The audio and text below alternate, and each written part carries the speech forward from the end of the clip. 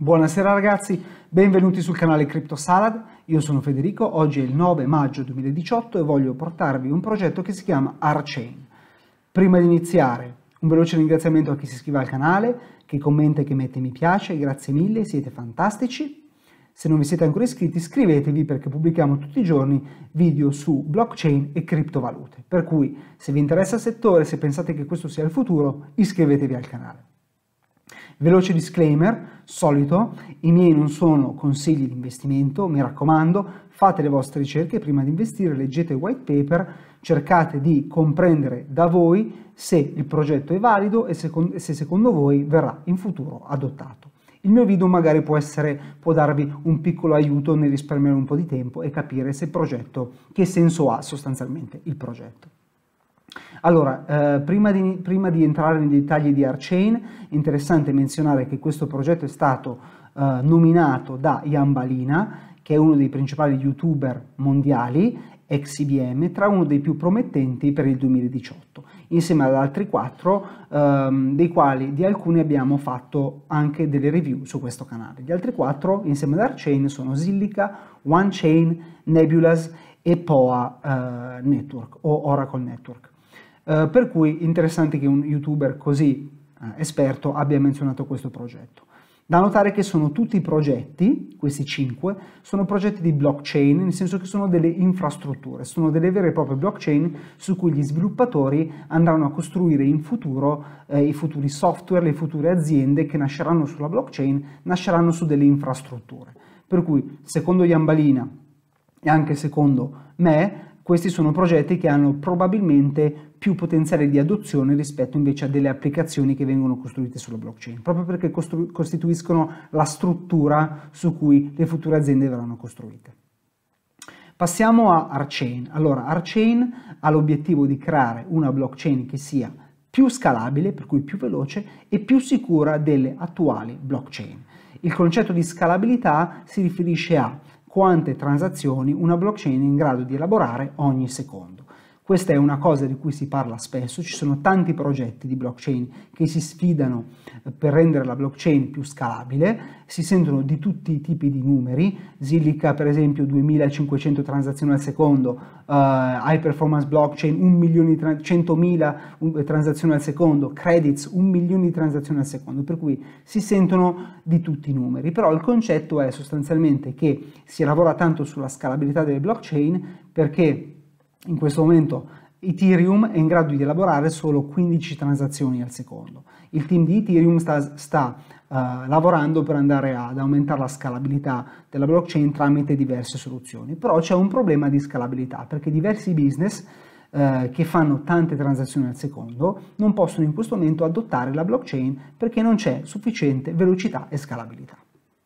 Il secondo tema su cui si focalizzano è il tema della sicurezza degli smart contract. Andiamo a vedere in particolare quelle che sono uh, le specificità di questa blockchain. Allora, intanto mi scuso perché è un progetto che è molto tecnico, io non sono un tecnico, per cui è molto probabile che dica delle cose sbagliate, mi scuso in anticipo, se dico cose sbagliate e le notate, mi raccomando, correggetemi nei commenti. Allora, si tratta di un progetto che ha eh, ha una base matematica molto forte, per cui ci sono dei veri e propri cervelloni matematici che hanno elaborato questa blockchain. Raw Calculus è il modello di computazione matematico che sta alla base di Archain, per cui c'è un modello computazionale matematico molto complesso. Interessante da notare che loro hanno un, elaborato un nuovo sistema il nuovo linguaggio di programmazione, per cui per programmare sulla blockchain Archain è necessario conoscere un nuovo programma che è diverso da Solidity e da uh, Zilla, mi sembra che si chiami, che sono i due linguaggi, il primo per, per programmare su Ethereum e il secondo per programmare su Zilliqa. Roland è il, è il, il linguaggio utilizzato per programmare su Archain ed è molto interessante questo linguaggio perché è molto più semplice, almeno loro dicono, eh, programmare gli smart contract tramite questo linguaggio ed è molto più difficile commettere degli errori, quindi così risolvono il problema di sicurezza degli smart contract, perché spesso gli smart contract sviluppati su Ethereum per esempio hanno dei bug che permettono agli hacker di eh, andare magari a sottrarre dei fondi o andare a insomma, ad inserirsi all'interno del meccanismo. Per cui è una blockchain teoricamente che ha degli smart contract molto più sicuri perché ha un linguaggio che sbaglia molto um, più difficilmente. Hanno delle virtual machine, le virtual machine sono delle macchine virtuali che fanno um, che elaborano gli smart contract e interessante, eh, seconda peculiarità, è che loro definiscono le loro virtual machine concurrent, per cui in concorrenza sostanzialmente tra di loro, nel senso che non elaborano una transazione per volta, ma sono in grado di elaborare più transazioni allo stesso momento e quindi accelerando ovviamente la velocità della blockchain. È un pochino come il concetto di sharding di cui avevamo parlato per Zilliqa. Si tratta di una blockchain che ha un algoritmo del consenso che è proof of stake e quindi che non utilizza eh, la CPU o la GPU come Bitcoin, eh, per cui che non consuma tanta energia, proof of stake. E eh, interessante qua eh, è, sarà possibile sul singolo nodo,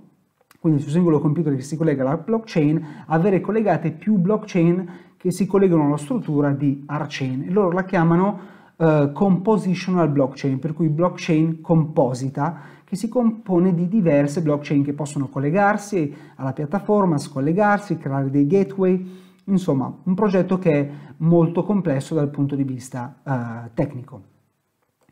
Andiamo a vedere un'altra cosa interessante che il nome del progetto è Archain Cooperative, qua molto interessante che loro hanno un, un modello di governance che è una cooperativa, è una cooperativa che è incorporata negli Stati Uniti, in particolare a Washington, dove è possibile iscriversi, costa 20 euro, eh, 20 dollari ed è lifetime, per cui per sempre, e si può contribuire con un voto sostanzialmente a quelle che sono le decisioni della community di Archain. Molto interessante che ci sono eh, tantissimi sviluppatori in particolare che da tutto il mondo si uniscono per dare loro un contributo allo sviluppo di Archain, che è un codice comunque open source, per cui tutti possono scaricarlo. Un'altra cosa interessante che ho dimenticato di dirvi è che questo è uno dei progetti che è più attivo su GitHub. Uh, GitHub è la piattaforma su cui praticamente gli sviluppatori caricano uh, quello che è il loro lavoro renderlo fruibile agli utenti ed è uno dei progetti che è più attivo insieme a iOS, per cui gli sviluppatori di Archain stanno lavorando tanto e producono tanta tecnologia. Andiamo al team, come vi dicevo è un team di matematici, in particolare il fondatore e presidente della cooperativa si chiama Greg Meredith ed è stato Principal Architect of Microsoft Bitstalk Process Orchestration, per cui praticamente era uno sviluppatore per uh, Microsoft. Ho sentito diverse interviste di questo personaggio, è molto, uh, molto brillante, proprio è un matematico esperto di matematica ed esperto di logica, per cui alla base di questo progetto c'è sostanzialmente un modello di computazione eh, matematico. Interessante da dire che Greg Meredith era prima fondatore di un altro progetto che si chiama Cinerio AMP, che poi lui ha lasciato per dedicarsi ad Archain e questo è il grafico di Cinerio AMP da quando lui sostanzialmente ha lasciato il progetto, per cui c'è stato un crollo di Cinerio AMP perché lui è una figura molto chiave. Secondo membro che voglio segnalarvi all'interno del team di Archain è Vlad Zamfir, che ha lasciato Ethereum, era uno dei principali sviluppatori di Ethereum che lavorava eh, a braccetto con Vitalik Buterin e che ha soprattutto sviluppato il proof of stake di Ethereum, eh, che adesso ha lasciato Ethereum per dedicarsi ad Archain. Per cui qua si vede un articolo su Medium dove si vede Vlad Zamfir che si unisce alla Archain Cooperative. Passiamo a vedere Archain su CoinMarketCap, lo trovate sull'exchange con la sigla